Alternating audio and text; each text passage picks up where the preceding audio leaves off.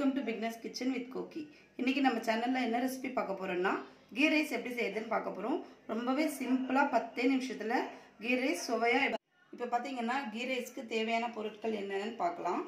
நான் வந்து அரிசி வந்து ரெண்டு டம்ளர் எடுத்திருக்கேன். இது வந்து கிட்டத்தட்ட அரை கிலோ இருக்கும். இப்போ அதுக்கு தேவையான அளவு தாளிப்புக்கு சோம்பு பட்டை லவங்கம் ஏலக்காய் அன்னாச்சிப்பூ பிரிஞ்சி எல்லாம் எடுத்திருக்கேன். தேவையான அளவு எண்ணெய் தேங்காய் வந்து நம்ம தேங்காய் பால் தான் ஆட் பண்ண போகிறோம் இதுக்கு. அதனால் தேங்காய் எடுத்திருக்கேன். கொஞ்சம் புதினா கொத்தமல்லி. நெய் வந்து தேவையான அளவுக்கு ஒரு ரெண்டு ஸ்பூன் எடுத்திருக்கேன் நான். அப்புறம் பார்த்தீங்கன்னா ஒரு மூணு வெங்காயம் மீடியம் சைஸ் வெங்காயம் வந்து கட் பண்ணி வச்சுருக்கேன். இஞ்சி பூண்டு பச்சை மிளகாய்.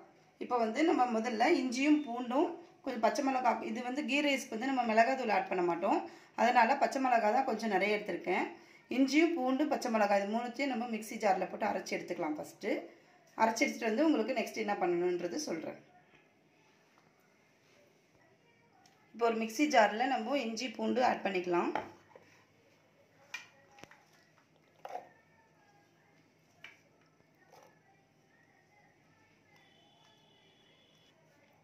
பச்சை மிளகாய் இது கூடவே சேர்த்து அரைச்சிக்கலாம். இது வந்து நான் இப்போ ரெண்டு டம்ளர் குவான்டிட்டிக்கு தான் நான் சொல்லிகிட்ருக்கேன் நீங்கள் அதை விட கம்மியாக வேணும்னா இதில் பாதி எடுத்துக்கோங்க. இல்லை அதிகமாக வேணும்னா அப்படியே டபுள் பண்ணிக்கோங்க. இப்போ இதை அரைச்சிட்டு வந்துடுறேன். பாருங்கள் இஞ்சி பூண்டு பேஸ்ட் வந்து அரைச்சாச்சு. இப்போ இந்த பச்சை மிளகாய் வந்து நம்ம கட் பண்ணி வச்சுக்கலாம்.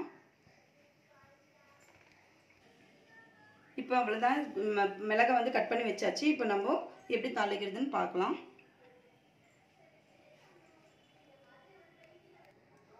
பாருங்க இப்போ குக்கர் வச்சாச்சு. நல்லா சூடாயிடுச்சு. இப்போ வந்து நான் நெய் சேர்த்துக்கிறேன். இது வந்து ரெண்டு டேபிள் ஸ்பூன் வந்து நெய் சேர்த்துக்கிறேன். இப்போது எண்ணெய் வந்து ஒரு நாலஞ்சு ஸ்பூன் வந்து ஆட் பண்ணுறேன்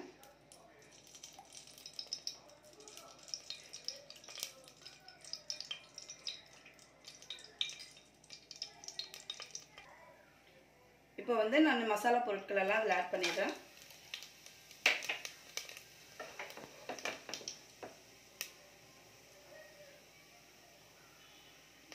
வெங்காயம் ஆட் பண்ணுறேன்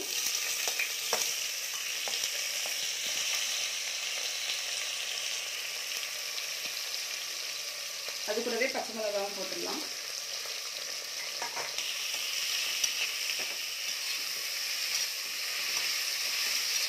இது நல்லா வதங்கட்டும். வதங்குற வரைக்கும் கொஞ்ச நேரம் வெயிட் பண்ணலாம்.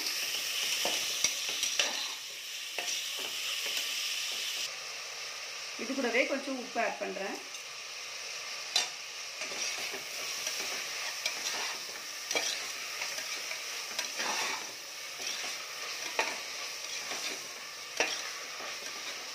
ரொம்பவே ஈஸியாக செஞ்சிடலாம் இது கீ ரைஸ் வந்து. ரொம்பவே டேஸ்டியாக இருக்கும்.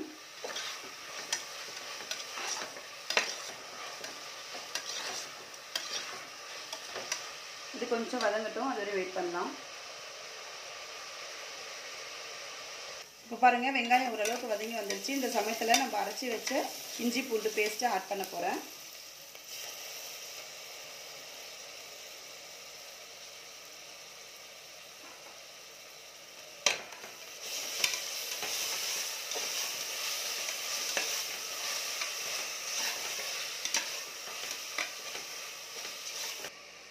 இப்போ பாருங்கள் நல்லா வதங்கி எல்லாம் பிரிஞ்சு வந்திருக்கு. இந்த சமயத்தில் புதினா கொஞ்சம் ஆட் பண்ணுறேன்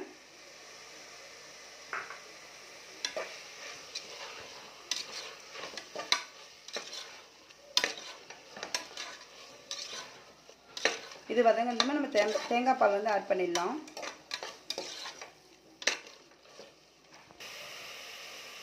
பாருங்க இப்போ நல்லா வதங்கி வந்திருக்கு. இந்த சமயத்தில் நம்ம தேங்காய் பால் ஆட் பண்ணிக்கலாம். தக்காளி வந்து போடணும்னு நினச்சிங்கன்னா ஒரு தக்காளி மட்டும் ஆட் பண்ணிக்கோங்க. என்னென்னா தக்காளி ஆட் பண்ணிங்கன்னா உங்களுக்கு கலர் மாறும்.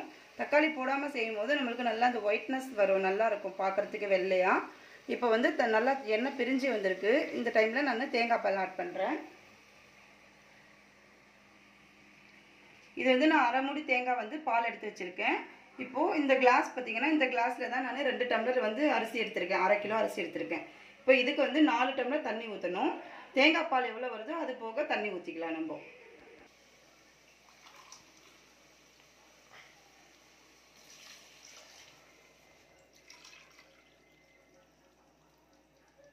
தேங்காய் பால் பாருங்கள் இப்போ ரெண்டு டம்ளர் வந்திருக்கு. அது கூடவே கொஞ்சமாக தண்ணி மிக்ஸ் பண்ணிக்கலாம். இன்னும் ரெண்டு டம்ளர் தண்ணி ஊற்றப்படுறேன் ரெண்டு டம்ளருக்கு மொத்தம் நாலு டம்ளர் தண்ணி.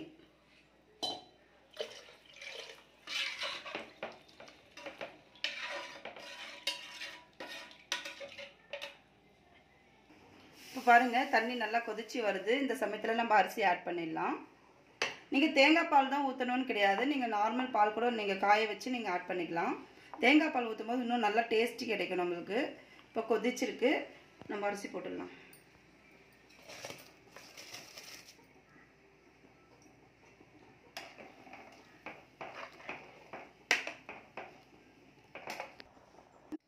இப்போ பாருங்கள் இது நம்ம அரிசி போட்டாச்சு அச்சு இருக்கு. இந்த சமயத்தில் வந்து நான் குக்கர் மூடி போட்டுட்டு ஒரு ஒரு விசில் வச்சுட்டு பத்து நிமிஷம் வந்து சிம்மில் வைக்க போகிறேன் அப்புறம் அது ஆனதுக்கு அப்புறமா உங்களுக்கு எப்படி இருக்குன்னு காட்டுறேன்.